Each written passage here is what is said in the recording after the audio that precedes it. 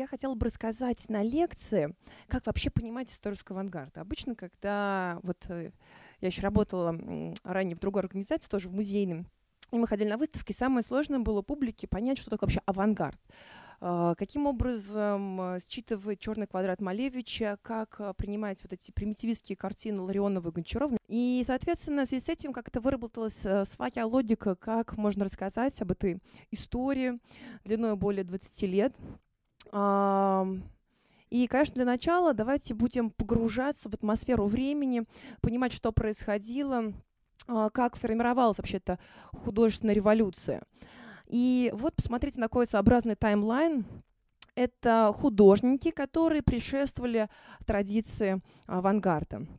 Это те художники, которые во многом стали ориентирами для будущих авангардистов.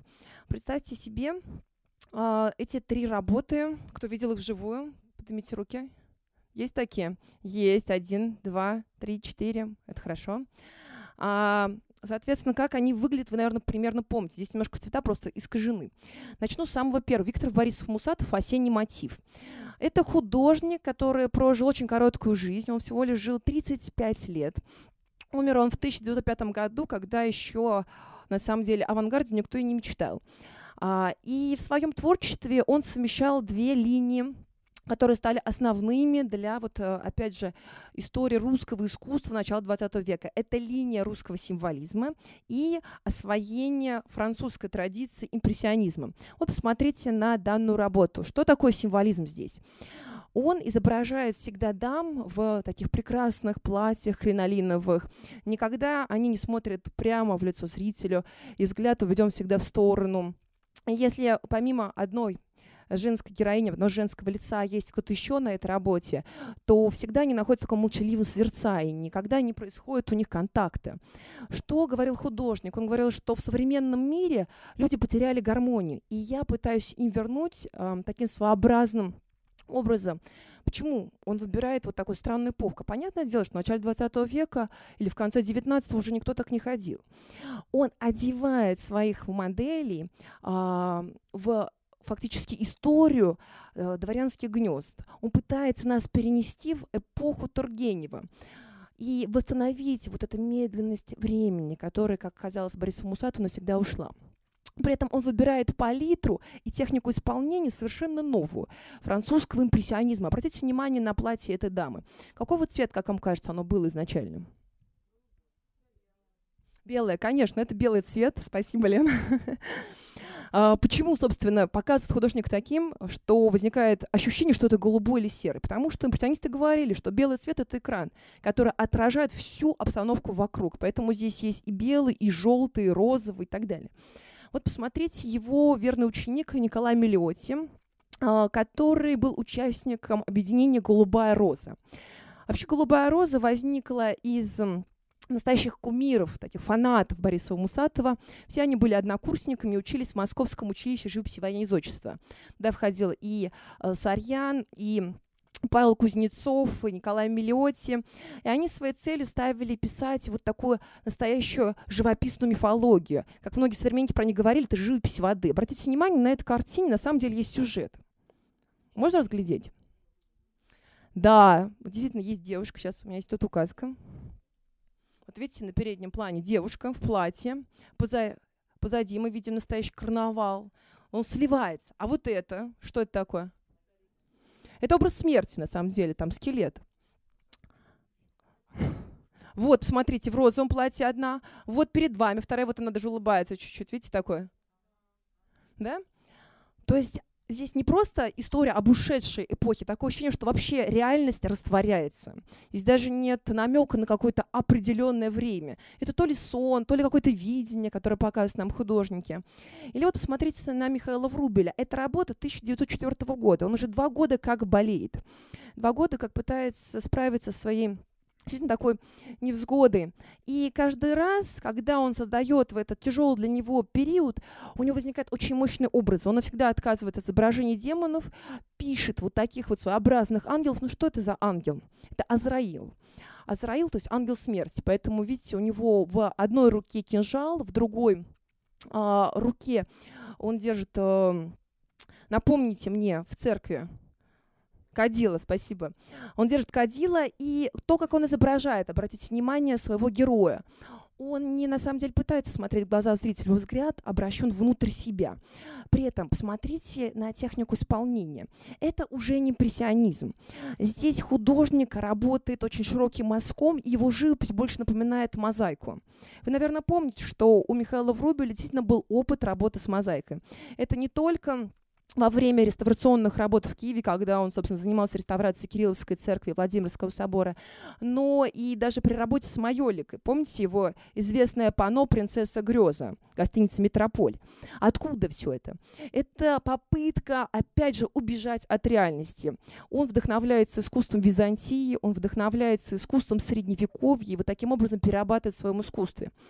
И молодые художники видели действительно эти работы. А, все эти живописцы были участниками современных выставок, о них много писали, они говорили. Это была действительно последняя тенденция.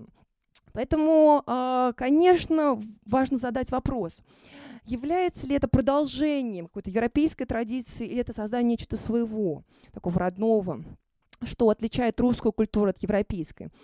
Своеобразным ответом на этот вопрос будет обращение э, к такому имени, как Сергей Щукин. Это коллекционер. Он собирал э, большей частью, конечно, европейских художников, и сейчас его коллекция поделена между двумя институциями. Вы, наверное, сами знаете, да? Это ГИМИ, музей имени Пушкина, и э, Государственный Эрмитаж. Э, Сергей Щукин э, определял моду живописную того времени. Изначально он начинал э, с французского импрессионизма. Напомню, что вообще импрессионизм появляется в 60-е годы XIX века, когда у нас это время обозначает кульминацию, да, развитие русского передвижничества. И вот посмотрите, как выглядели внутренние комнаты его особняка-музея. А, здесь мы видим фотографии, которые были подготовлены к выставке Луи Виттона. Она проходила в 2016 году. И вот потом как раз Сергей Щукина задумал глобальную такую идею реставрации, как это действительно выглядело все в цвете. И старинные снимки раскрасили и представили наконец-то публике. А, посмотрите, здесь есть зал Гогена. Видите, работы с правой стороны его периода пребывания в Таити, и посередине мы видим уже Матисса, настоящий такой образ алтаря да, соборного, или зал Пикассо, его так и называли, иконостас Пикассо. Uh, молодые художники ходили. Надо сказать, что не сразу двери uh, своего дома открыл для молодых художников Сергей Щукин. Вначале он выпускал проверенных художников по рекомендации. Более того, он сам водил экскурсии, рассказывал о том, как приобретал эти вещи. И, конечно, uh, живописцы видят то, как совершенно по-новому воспринимают реальность художники Франции, пытались освоить этот язык. С чего все начинается? Вот посмотрите на вот такую своеобразную Венеру.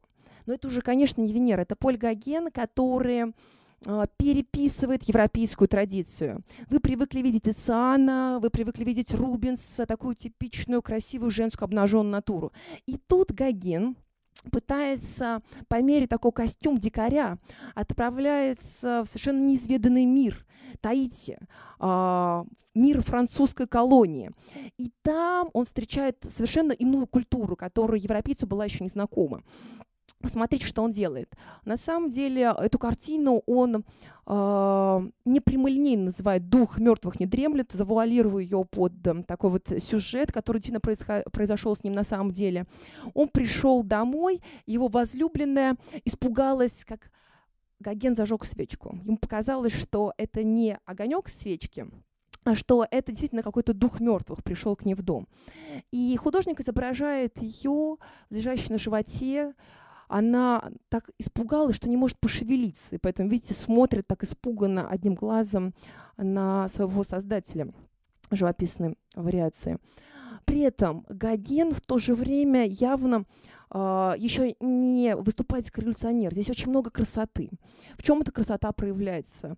Посмотрите на эту простынь, которую он да, прописывает на контрасте этого темного тела. Здесь есть очень красивые переливы, настоящие такие импрессионистичные еще переливы. Здесь есть, опять же, и голубой, и розовый, и желтый, и зеленый тона. Посмотрите на этот прекрасный декор да, под простынью.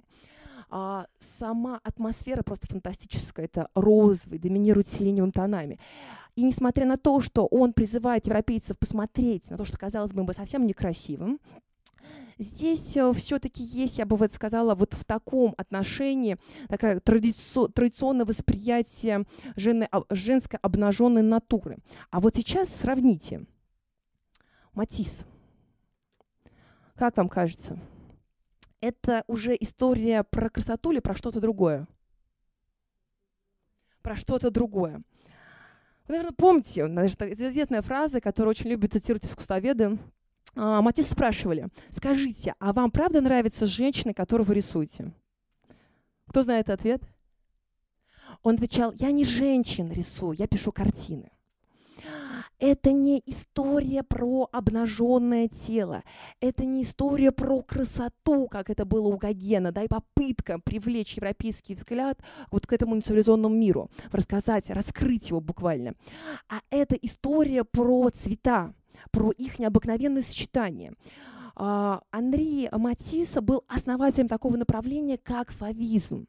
Вот если вы будете забывать имя Анри Матисс в поисковик Гугла, то первое, что вам будет выпадать, такие фотографии черно-белые, сидит добрый старичок и обнимает то ли целует голубей и многочисленных котиков. Но никак не назовешь его диким, потому что фов с французского означает как раз дикий. А само название дали ему французские критики, за что его обозвали дикарем настоящим. Вот за эти необыкновенные цветовые сочетания. В отличие от импрессионистов, которые избегали вообще контра, потому что, как они говорили, границы предметов растворяются в пространстве. Типичный тому пример – портрет матери у Давида Давидовича Бурлюка если кто видел, конечно, экспозицию, то сразу его вспомнит. А вот здесь, посмотрите, для чего он создает вот эту окантовку таким глубоким, насыщенным цветом? Вот для контраста цвета изображения ее белого такого молочного тела. А, задний план это просто разработка цветовая. Это уже даже не попытка показать некий пейзаж или орнамент, как это было у Гогена. Здесь художник использует женское тело как некую палитру для цветовых сочетаний. Почему он это делает? Потому что первая революция в авангарде происходит и на зрительном отношении. Всем зрителям нравится одно в картине – это цветовое сочетание. И от этого уже понимаете, понравится то, что художник изобразил, или вам это не нравится. А, вот мы сейчас будем постепенно разбираться. И маленькое такое дополнение. А, вы, наверное, знаете, что на самом деле галерея западноевропейского искусства в Пушкинском музее состоит не только да, из работ в э, собрании Сергея Щукина. Там же присутствует картина э, из собрания Ивана Морозова. Но Иван Морозов, несмотря на то, что действительно имел невероятную по количеству и по качеству европейской живописи начала 20 века, конца 19-го, он никогда не впускал сторонних людей. Ни русские э, авангардисты, ни их э, европейские коллеги не могли попасть к нему в дом. Он был настоящий старообрядец, это, на самом деле, традицию э, все держать при себе, никому не показывать крепко, да, я бы сказала, так имел. Но посмотрите на фотографию с правой стороны. Мы видим фотографию особняка изнутри. А что это за работы, которыми он оформлял свой дом? Это Морис Дени. Это художник французского символизма. К сожалению, вот поскольку они черно-белые, мы не можем видеть их в цвете. Но они сейчас, опять же, находятся в собрании Пушкинского музея. Вы можете прийти и посмотреть все это. Что это такое? То есть на самом деле Морис Дени вдохновлял таково еще – вдохновлял вот тех самых наших русских художников, как Николай Мелиотти, Виктор Борисов Мусатов. Uh, в отличие от Сергея Щукина, он не покупал сверхсовременных живописцев. Он покупал лишь те картины, которые были опробированы на европейском рынке, которых уже покупали, которые активно выставлялись.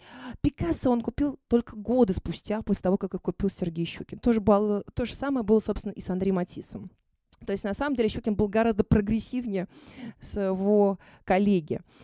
А, и поэтому возникает интересное такое явление. На русских авангардистов одинаково влияли как традиция европейской современной живописи, так и устойчивая позиция символизма. Вот типичный тому пример. Работа Натальи Гончарова, автопортрет и портрет Михаила Лариона. С одной стороны, что здесь от символизма, на ваш взгляд? Маскарад, конечно, да? Она пишет себя в образе Коломбины, Михаил Ларион в образе печального перо. При этом, обратите внимание, это, конечно же, не символизм, как мы привыкли представить. Это не Эмилиотти, это не Виктор Борисов Мусатов. Здесь уже совершенно другая живопись. Возникает типичный матисовский, да, фавистский контур такого оранжевого, ярко насыщенного цвета. Вот это уникальный пример, как художники соединяли старые традиции с символизмом в своих работах и уже совершенно новые веяния в искусстве. Но постепенно даже они от этого окажутся. Это период переходный, как, собственно, вырастает русский авангард. А теперь первая волна, неопримитивизм, 1910-1914 годы. А, первой выставкой, которая заявляет о себе неопримитивизм, является выставка бубнового валета. Она открывается в 1910 году. Название выставки придумывает Михаил Ларионов. На самом деле возникают многочисленные споры, он ли, но Михаил Ларионов уверен, что именно он. Почему называется бубновый валет? А, кто-нибудь помнит название художественных объединений а, 1900-х годов, 80-х, 90-х. Голубая роза. Что еще? Мир искусств, помните? Золотое руно, да, выставки. А тут Бубнов валет. По сравнению с этими прекрасными, лиричными, почти музыкальными названиями возникает вот такое совершенно странное словосочетание. Откуда это? А это именно из сленга. Это сленг тех людей, которые оказались вне закона. Вы, наверное, помните произведение Горького «На дне», как они друг друга называли? Вольтами, тузами и так далее. Почему? Дело в том, что тот, кто оказывался в тюрьме, ему выдавали форму, на спине которой был квадрат. И вот эта отсылка к карточной игре здесь совершенно не случайна. Во-первых, надо сказать, что художники, которые собрались э, в это художественное объединение и стали выставлять свои работы на этой выставке, были в основном из хороших семей. Не всегда обеспеченных, но тем не менее хороших. Мих, э, вот, предположим, Илья Машков был из купеческой семьи. Петр Кончаловский был сыном известного издателя Петра Кончаловского, который, кстати, издал э, книгу Лермонтова с изображениями, с иллюстрациями а, Михаила Врубеля. Потому что на самом деле, кроме Кончаловского как раз, никто не соглашался издавать вот эти странные картинки. Так вот, возвращаясь, собственно, к этой выставке. Представьте себе, приходит публика а, на очень сильно провокационное название «Бубновый валет». И вот что они видят. Это было на самом деле центральное, оно же программное произведение вот этого вернисажа, это экспозиции временной. Мы видим здесь двух художников. Первое, что бросается в глаза. Цвет. А что еще? Ну, кроме цвета. Вот, действительно. Как-то странно художники себя изображают, да, почему-то они тут не одеты. Казалось бы, до этого, кого мы не вспомним, если существует автопортрет, то всегда одеты, максимум расстегнута рубашка. Тут неожиданно они показывают себя настоящими атлетами-циркачами. Рядом с ними мы видим изображение гирь. Они так немного сливаются, может быть, с фоном, но кто помнит эту работу вживую, тот, конечно, сразу их распознает. Но обратите внимание, они не просто хотят рассказать себе как о неких силачах, атлетах. Они рассказывают нам о совершенно о себе как о деятелях искусства. Что нам об этом говорит? скрипка, ноты, книги. Посмотрите, что на корочках этих книг написано. Написано «Сезанн», искусство, возможно, мир искусства имели они. Затем, смотрите, Египет, Греция, Италия. Опять отсылка да, к совершенно классическому восприятию искусства. И, конечно же, Библия. Затем, посмотрите, что они пишут на заднем плане. Это, конечно, такая, я бы сказала, такой амаш Арчибольду, да, и его э, портретом из фруктов и овощей. Но при этом, конечно, все вот эти женские портреты в овалах совершенно не случайно составляют такую аллегорическую пару этим прекрасным атлетам-мужчинам. И вот они смотрят на нас, обратите внимание, уже совершенно без застенчивости, в отличие от да, героев и персонажей Виктора Борисова Мусатова, и готовы принять этот вызов буквально.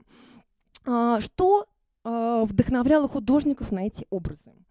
В первую очередь то, что окружало вокруг. Вот в первую очередь вот такая вывеска, вот такая саморепрезентация. Они фактически декламировали только что самого себя. А, на это их сподвигла идея имитировать уличную вывеску. Вообще, на самом деле, уличная вывеска для того времени – это такая натура уходящая. А, в начале 20 века в Москве практически не было изображений, которые бы использовали для вывесок, были уже только текстовые э, надписи. Магазин абрикосовых, магазин молодцовых и так далее. И вот такие картинки и вдохновляли художников. Более того, Илья Машков сам начинал как вывесочник. Он знал эту прекрасную традицию и ее же технически имитировал в своих работах. Они не только рассказывают о себе, но еще и заявляют о себе как о совершенно новых художниках, которые будут пропагандировать вот этот новый язык обществу. Посмотрите э, на то, как действительно искусно, я бы сказала, имитирует вывеску и сам Илья Машков. Но что нам говорит, что это точно не вывеска, на ваш взгляд? Подпись. А что еще? Вот, задний фон. На вывеске никогда не будет заднего фона. Всегда будет такой всепоглощающий, такой вот темный свет потому что не нужно. Самое главное это показать тот самый рекламируемый предмет, да, будь это хлеба, овощи или это масла. Все. Что здесь делает художник? С одной стороны, он показывает нам примитивистский абсолютно натюрморт. Здесь, видите, повторяется традиция небезызвестного вам уже французского художника. Здесь появляется вот этот контур яркого, контрастного синего и черного цвета. В то же время неожиданно возникает вот то ли отсылка, то ли какая-то перепевка с работами какого художника? Гогена, конечно, да, и вот этот таитянский период, посмотри в заднем плане. Но только выполненный совершенно в примитивистской манере, как никогда бы не написал свои вещи сам Гоген. Вот посмотрите, что делают они дальше. Не только рекламные вывески, но и предметы народного кича их вдохновляли. Сама Наталья Гончарова любила говорить, а вообще мещанский слой, мещанский быт – это не отвратительно это наша муза, говорила она. Смотрите, что делают эти художники. Кончаловский, он использует в качестве основного предмета внимания поднос, которые э, выпускались тиражированно. Их можно было купить на сухарем рынке за сущие копейки.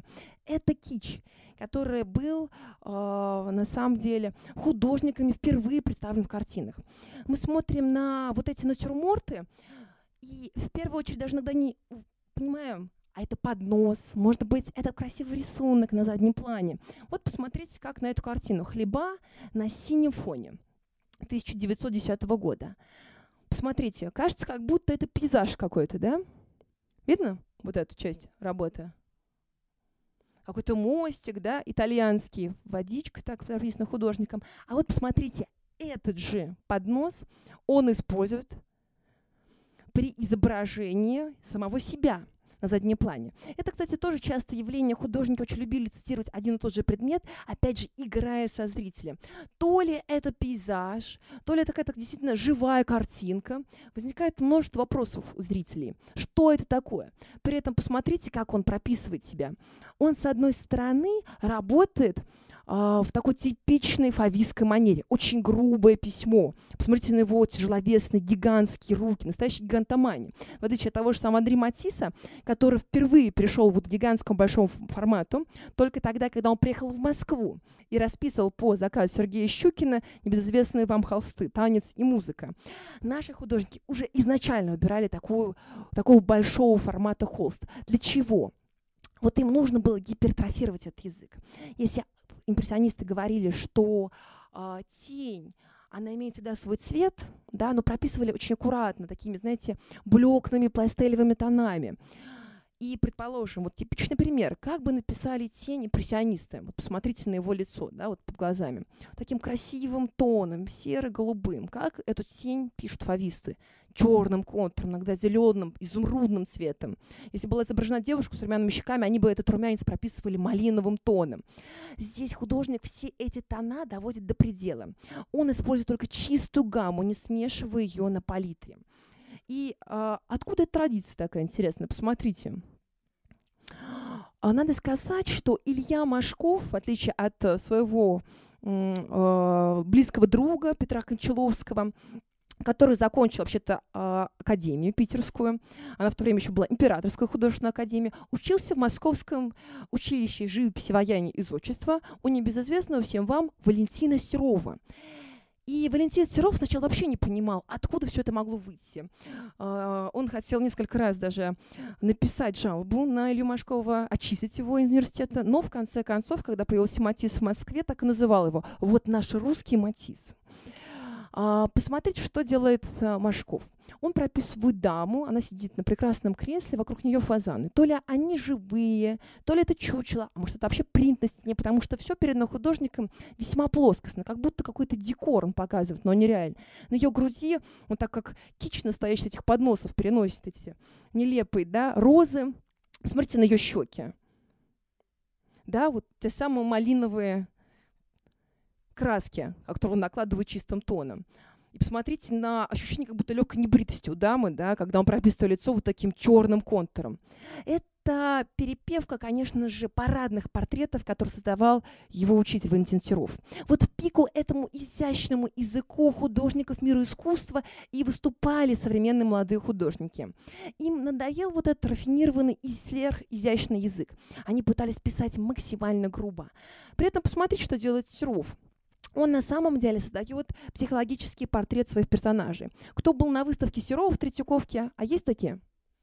О, большинство, это здорово. Вы, наверное, помните, что можно было, даже было читать этикетку и информацию о том, что и кого изображает художник. Почему? Потому что все и так написано на холсте. И в первую очередь, самое главное, художник прописывал свое отношение к модели. Вот о Юсупов он сохранил невероятно теплые воспоминания, но при этом, когда он пишет ее портрет, обратите внимание, что платье как будто сливается с обивкой. И она является тоже частью этого богатого декора. Единственное, что выделяет, это, конечно же, такие очень миловидные, добрые глаза. Но в то же время основная остановка — это животное такого что это как платье. Все говорит нам об этих вкусах богатой дамы, аристократки настоящие, что она есть часть вот этого мира, совершенно далекого от художника. И Наталья Гончарова, когда прописывает свой автопортрет, идет от обратного. А, я часто люблю задавать вопрос. Скажите, вам что кажется, на ваш взгляд, уродливым в этом портрете? Давайте отойду подальше. Обычно мужчины так всегда отвечают. Вот, руки, пальцы. Обратите внимание, что на самом деле в жизни художница была невероятно красивой. Согласны? Ну что вы так критически? Красавица на самом деле. При этом Наталья Гончарова происходит из рода тех самых Гончаровых, чей самый известный представитель это кто? Конечно, жена Александра Сергеевича Пушкина, браво. Поэтому она была не из бедной семьи. Более того, отец ее был архитектором. У них было несколько усадеб в России. Вот она родилась в Тульской губернии, а ее любимой усадьбой был полотняный завод, потому что, собственно, при усадьбе был полотняный завод. Находится он и до сих пор в Калужской области. Вот если кто был в Никола Ленивце, вы часто как раз обычно путь в эту э, деревню пролегает именно через этот ныне музей-заповедник Полотняный завод. Вот что делает Гончарова? Она прописывает себя как крестьянку. Ее впечатления от пребывания в этой усадьбе Полотняный завод станут основным источником вдохновения. Ей безумно нравилось, как крестьянки относятся к своему труду, как настоящие ремесленники. Они воспринимали это как некое, как некий предмет искусства, создания этой ткани, да, рукотворной. Они воспринимали как просто ежедневную работу. И Наталья Гончарова была невероятно невероятно плодовитой художницей. Обратите внимание на задний план.